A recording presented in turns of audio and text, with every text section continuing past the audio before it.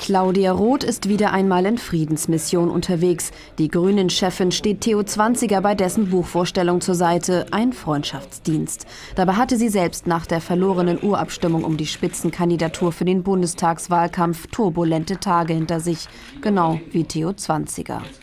Günter Netzer äh, hat mir ein äh, Fax geschickt, äh, dass er durch die Diskussionen, die in den letzten Tagen aufgrund der Vorabveröffentlichungen eines kleinen, ganz kleinen Teil meines Buches doch etwas irritiert ist und seine äh, ursprüngliche Zusage zu kommen nicht äh, umsetzen möchte. Dieser kleine Teil des Buches hatte für reichlich Wirbel gesorgt. Das Buch gilt schon vorab als Abrechnung.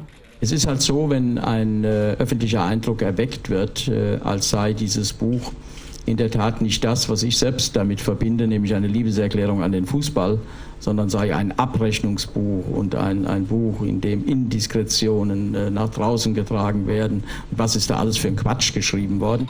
Theo Zwanziger rudert zurück. Claudia Roth assistiert und auch der Kaiser Franz Beckenbauer versucht, die Wogen zu glätten. Man weiß ja, wie es gemacht wird, dass man dann Sequenzen oder auch, auch Satzstücke rausnimmt und da eine Schlagzeile drüber macht. Das ist nun mal so, aber das muss man wissen. Wenn man ein Buch schreibt, dann muss man halt wissen, äh, was das Ergebnis sein wird. Und, und äh, es ist halt dann so, wenn man jemanden angreift, äh, dann muss man halt auch damit rechnen, dass sich derjenige wehrt.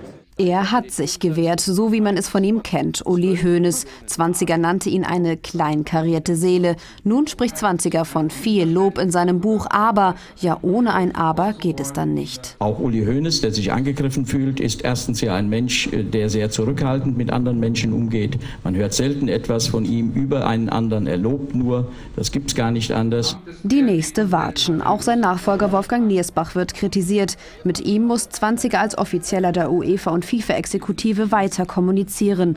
Problematisch? Der 20er wird es dem Wolfgang in seiner Art beibringen, wie, wie er das gemeint hat. Man schaut ja manchmal in, in Schrift etwas härter aus, als es dann wirklich auch gemeint ist. FIFA-Chef Josef Blatter kommt im Buch übrigens positiv weg.